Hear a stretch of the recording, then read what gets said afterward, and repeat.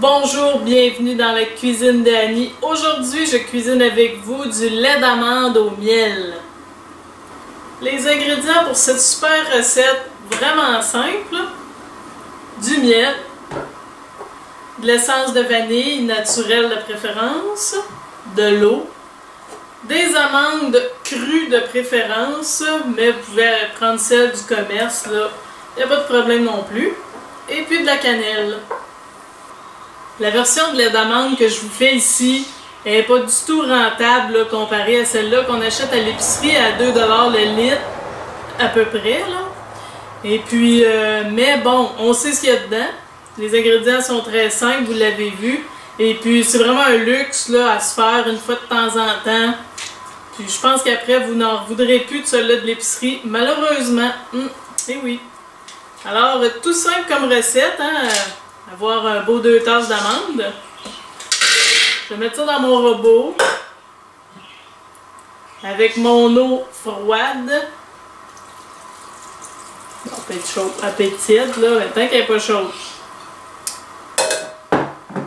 Mon essence de vanille. Là, ici, comme je l'ai dit dans la recette, moi, je vais faire mon lait d'amande avec du miel.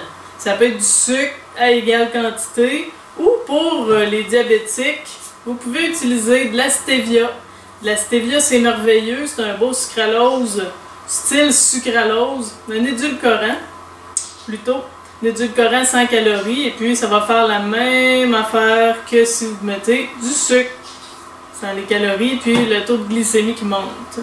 Alors, moi ici, je fais une version sucrée.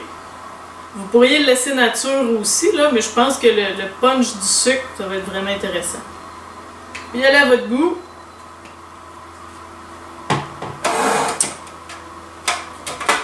Et on mélange le tout. C'est sûr, faut pas oublier d'ajouter la cannelle en cours de route, hein, peut-être en même temps au début. Alors le mélange doit être quand même homogène. Moi j'ai utilisé des amandes qui n'ont pas été blanchies puis que la peau était encore dessus. Donc c'est pour ça qu'il y a des petites particules de peau. Mais le mélange quand même, là, il y a, il y a des petits grumeaux. Regardez ça.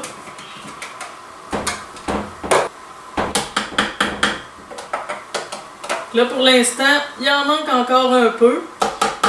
Ici là, moi j'ai choisi de le faire dans un robot culinaire. Ça va aller encore mieux si vous le faites dans un mélangeur spécialement conçu pour mélanger des choses liquides. Tu sais, que ça débordera pas de chaque bord. Tout de suite, quand j'utilise le mélangeur pour les liquides, tout de suite, je vois la différence. Oh mon dieu, ça fait une pâte là, tellement que ça mélange bien. Ça devient dense et onctueux et vraiment odorant. Hum. Hum, hum. Ça a l'air bon. Et là, c'est pas fini. Parce que là, je veux pas boire ça comme ça. Je veux pas boire de la pâte d'amande. Je veux boire du lait d'amande.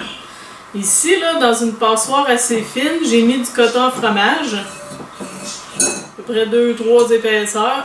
Et je vais filtrer mon mélange, mon lait d'amande. Alors, on laisse ça goûter pendant un certain temps. Ça fait une bonne demi-heure que je le laisse décanter, ben, que je le laisse euh, s'écouler. Et là, pour l'aider, j'ai décidé de pousser avec une cuillère, avec une louche, pour être sûr que tout le jus le plus possible soit sorti. Là, ici, je vous entends déjà pleurer en disant Quoi? J'ai juste ça de lait d'amande, puis il faut que je jette tout ça Non, non, non, non. Jamais de la vie. Vous avez peut-être juste ça de lait d'amande, sauf que ça ici, c'est une méga belle pâte d'amande, un petit peu sucrée, que moi je vais utiliser pour mélanger. Je vais mélanger avec du cacao et puis encore un peu plus de sucre ou de miel ou de sirop d'érable. Ça va me faire une méga super bonne tartinade aux amandes et au chocolat pour mettre sur mes toasts. Et oui, on récupère au prix que ça coûte les amandes. C'est sûr, je jetterai pas ça. Voilà mon super lait d'amande.